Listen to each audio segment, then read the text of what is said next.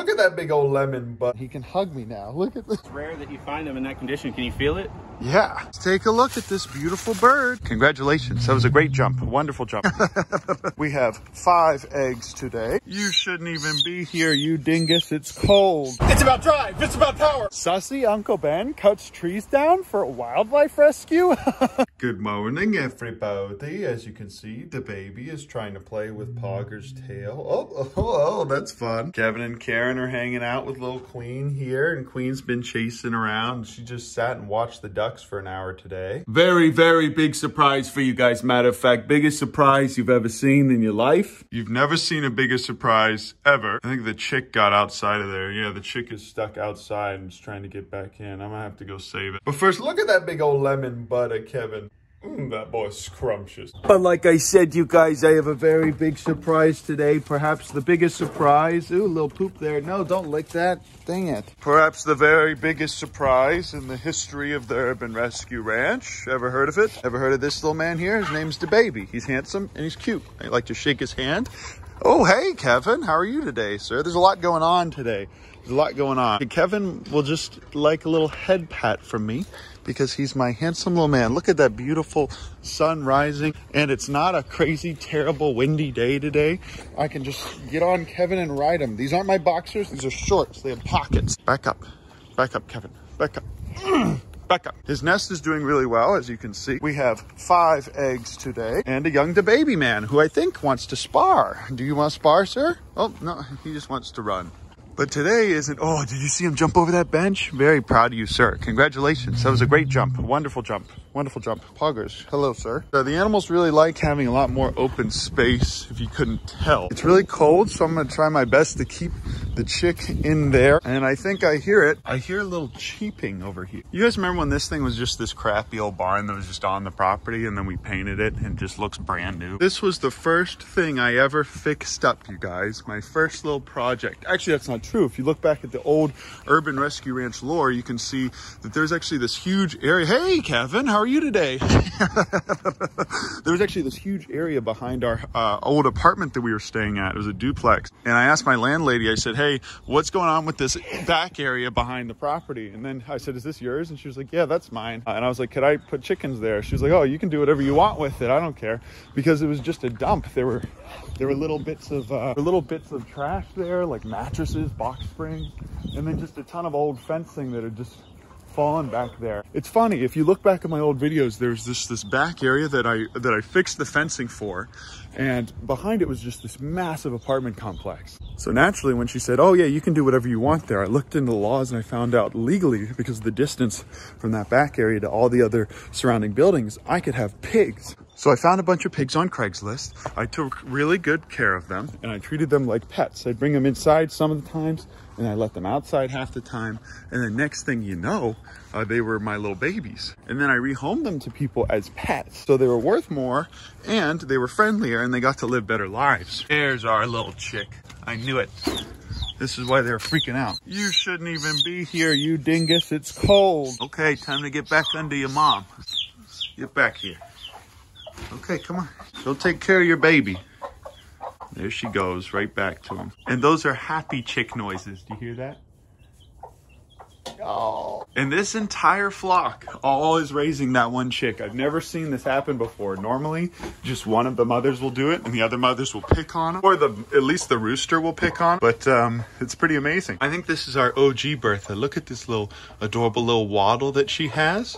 And look at her adorable little face and her adorable little beak. Boop, boop, boop. Yeah, the baby's in a crazy mood today. He's hopping around like crazy. He's enjoying this cool weather. Went down to the 50s last night. Crazy. Okay, so I'm gonna go ahead and put a bunch of this stuff in here. I'm afraid that if that chick gets to run around like this today, then he's just gonna end up dying from the cold. Ducks are good on food, at least for a couple days. They are so precious. Not only are they precious, but they're very, very happy in here. Water could be dumped, but uh, I'll wait another day or two for that. A Little queen over here and the baby would just sit here and lay down and they would just sit right there and just watch these ducks swim around all morning. It was the cutest thing ever. And these ducks are so much friendlier now Normally they wouldn't like me sitting here watching them, but now they don't really seem to care at all. But today I want to show you guys what's new in Waco. So I'm going to show you guys the update. And then uh, next thing you know, I'm going to come back here and then we're going to get right back on giving these ducks peas. And I really want these ducks to get to a point where they're eating out of my hand. Go ahead. Go ahead, the baby. Give me a hug. Give me a hug, the baby. Give me a hug. Look at this man. In the wide angle lens so you guys can see what I'm working with here. This is my little man. He can hug me now. Look at this. He bit me. He gave me a little bite.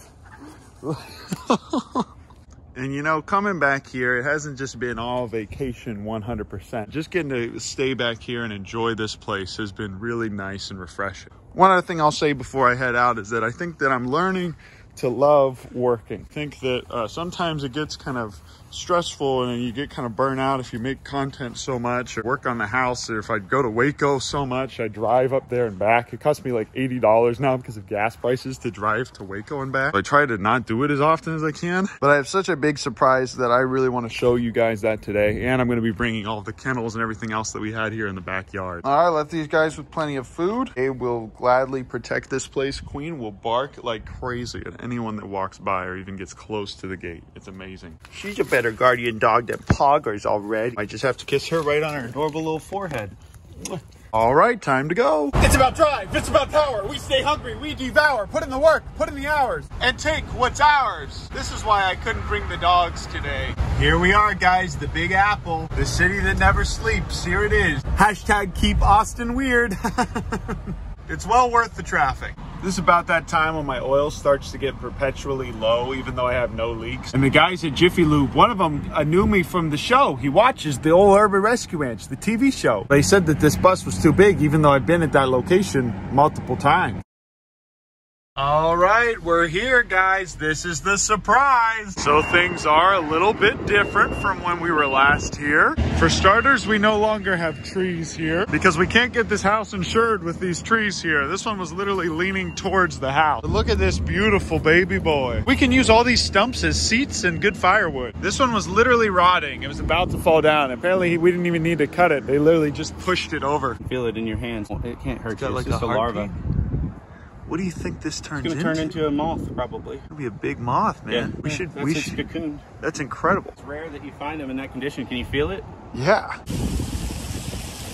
Man, this is very, very weird. All right, everybody, take a good long look. This is the Urban Rescue Ranch. There is now a huge wide open hole here where there used to be uh, a big shed and another shed right here. And there's a concrete pad right here, apparently. I think I'm gonna use this sheet metal to kind of just block this in. We're probably gonna drill a hole down here and then go ahead and just continue the fencing here. And we have a ton of leftover pipes. And while I don't think I can legally have a bunch of uh, little animals here, I know that I can definitely have a garden right there. So this could all be nice garden beds or something like that. Shut up! A lot of you guys been asking me how Bing Bong is. This is Bing Bong over here. Bing Bong's doing really well. Looking real silly as usual. Darth Vader just screams all the time. And while it's kind of annoying that he just yells nonstop, what's really nice is that he only yells when a person is nearby. So what's sweet about that is I will never get robbed. I will know immediately if someone's creeping onto the property. Pretty soon we're gonna go ahead and move the trailer over to the front by the house. It'll be nice. And then I'm gonna get a carport to put over top of it. But all right, everybody, here's the big surprise. This is the new back part of the property. As you can see, we have one large mesquite tree here, which is pretty cool that we were able to save this. And this tree is getting strangled by some wire. So I'm gonna cut this loose. And as you can see, it's rotting in here. And before you all get triggered that we cut all these trees down, and no, we didn't cut the cedars, but we did cut them about from six feet down. And before you all complain about us deforesting the land, oh, monarch butterfly, monarch butterfly, get over here, get over here.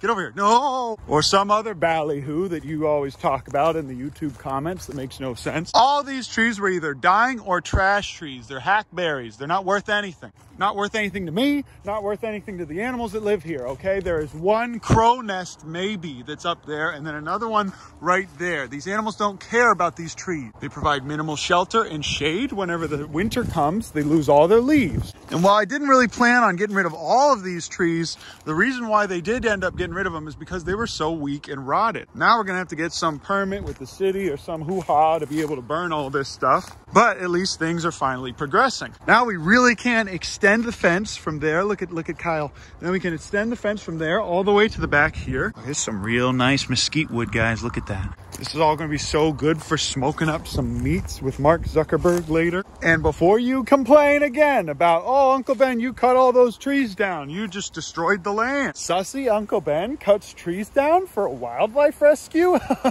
Seems a little counterintuitive, don't you think? No, because we'll be planting live oaks. Live oaks are a wonderful little tree that's native to Texas that is green year round.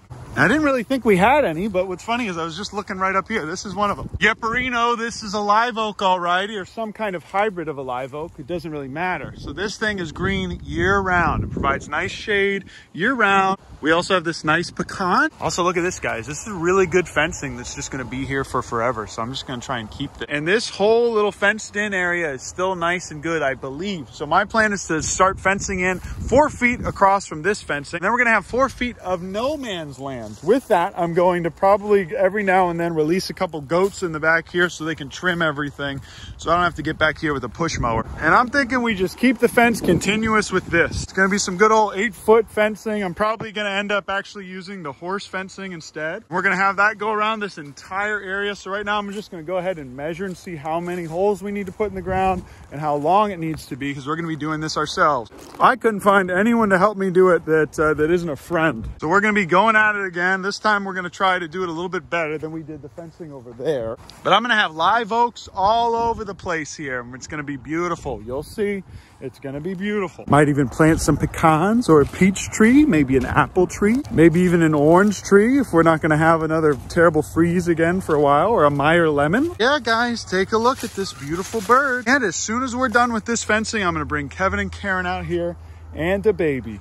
And everybody's just gonna frolic around and enjoy their life. The baby specifically is just gonna love this. Heck, we could even start hoarding cattle. And instead of Urban Rescue Ranch, we can call ourselves the Cattle Hoarding Ranch. We can just start hoarding cows. Dairy cows, beef cows, Brahman cows, Angus cows, Jersey heifers. This is me on the neighbor's property because they don't have any signs that say I can't be here. As soon as the winter comes, I'm gonna start exploring back here and seeing what they got. These are all younger trees, probably about 15, 20 years old tops. So this all used to be a field not that long ago. Also, can you notice that it's not as windy anymore because I'm in the wood? And although I don't necessarily own this property, there's no signs and it's been abandoned for years.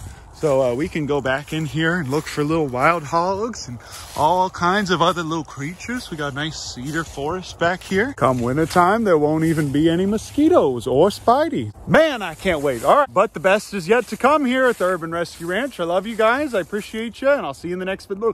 oh, almost forgot to tell.